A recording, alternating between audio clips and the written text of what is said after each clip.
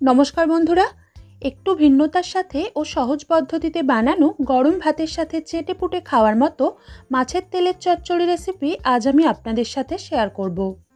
পুরো ভিডিওটি দেখলে আশা করছি রেসিপিটা আপনাদেরও ভালো লাগবে। তাহলে আসুন, আজকের এই ভিডিওটিতে দেখে নেওয়া যাক সুস্বাদু এই রেসিপি আমি কীভাবে বানিয়ে থাকি। মাছের তেলের চচ্চড়ি বানানোর জন্য প্রথমেই এখানে আমি নিয়ে নিয়েছি দুশো গ্রাম ভালোভাবে পরিষ্কার করে ধুয়ে জল ঝরিয়ে রাখা কাতলা মাছের তেল। এর মধ্যে দুই চা চামচ মতো পাতিলেবুর রস, অল্প নুন ও হলুদ গুঁড়ো মাখিয়ে একটা সাইডে ম্যারিনেট হওয়ার জন্য রেখে দেব পাঁচ মিনিট।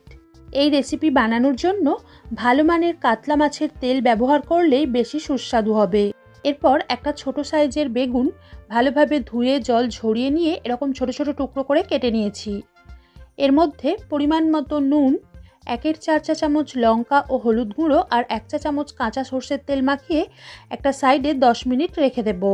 এর ফলে বেগুনের টুকরোগুলো অনেকটাই মজে বা নরম হয়ে আসবে। এবার আগেই একটা কড়া ভালোভাবে গরম করে নিয়ে এক চামচ সর্ষের তেল দিয়ে তেলটা ভালোভাবে গরম হয়ে এলে একটা ছোট সাইজের এরকম ডুমো ডুমো করে কেটে রাখা আলু, অল্প নুন, হলুদ ও লঙ্কা গুঁড়ো দিয়ে মিডিয়াম ফ্লেমে হালকা লাল করে ভেজে তেল ঝরিয়ে একটা পাত্রে তুলে রাখব।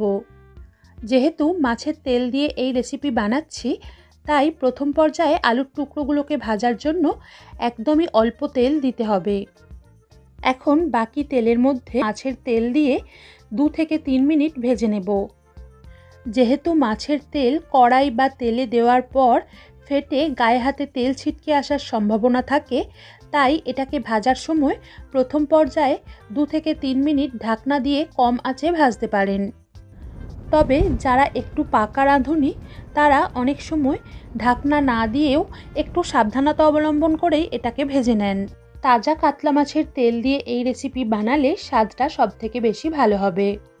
প্রায় দু থেকে তিন মিনিট ভেজে নেওয়ার পর এরকম তেল বেরিয়ে এলে এর মধ্যে একটা মিডিয়াম সাইজের ছোট ছোট টুকরো করে কেটে রাখা পেঁয়াজ দিয়ে তিন থেকে চার মিনিট, অর্থাৎ পেঁয়াজের রং হালকা লাল হয়ে আসা পর্যন্ত ভেজে নেব। তারপর হাফ চা চামচ আদা ও রসুন বাটা দিয়ে গ্যাস একদম কমিয়ে লোতে রেখে দু মিনিট মতো কষে নেব। যাতে আদা রসুনের কাঁচা গন্ধটা চলে যায়।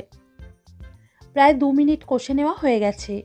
এবার এর মধ্যে নুন, লঙ্কা, হলুদ গুঁড়ো ও অল্প কাঁচা সর্ষের তেল মাখিয়ে রাখা বেগুনের টুকরোগুলো দিয়ে এক মিনিট ভেজে নেওয়ার পর সামান্য একটু নরম হতে শুরু করলে দিয়ে দিলাম আধখানা ছোটো সাইজের টমেটো কুচি।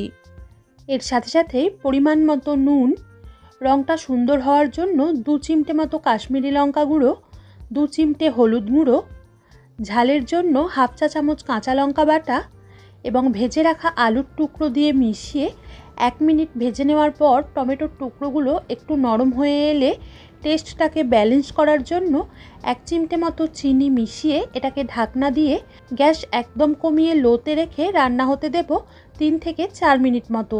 অর্থাৎ যতক্ষণ না আলু ও বেগুনের টুকরোগুলো পুরোপুরি নরম হয়ে আসছে, ততক্ষণ পর্যন্ত রান্না করে নিতে হবে। অল্প চিনি দেওয়ায় রেসিপিটা মিষ্টি একেবারেই হবে না। টক ঝাল ও মিষ্টিটা ব্যালেন্স হয়ে রেসিপির স্বাদটা আরও বাড়বে। এই পর্যায়ে এই রেসিপি বানানোর জন্য আলাদা করে কোনো রকম জল দেওয়ার দরকার নেই। মাছের তেল এবং সবজির ময়েশ্চার বা জলীয়ভাবেই আলু ও বেগুন ভালোভাবে সিদ্ধ হয়ে যাবে। কিছুক্ষণ পর ঢাকনা খুলে একবার নেড়ে দিয়ে চেক করে নিলাম আলু ও বেগুন ভালোভাবে সিদ্ধ হয়ে গেছে। সবশেষে অল্প ধনেপাতা কুচি ছড়িয়ে মিশিয়ে গ্যাস বন্ধ করে দেব। এখন এটাকে দু থেকে তিন মিনিট মতো ঢেকে রেখে নামিয়ে নিলে তৈরি হয়ে যাবে আজকের রেসিপি আজ এ পর্যন্তই। সবাই ভালো থাকবেন, সুস্থ থাকবেন। ধন্যবাদ।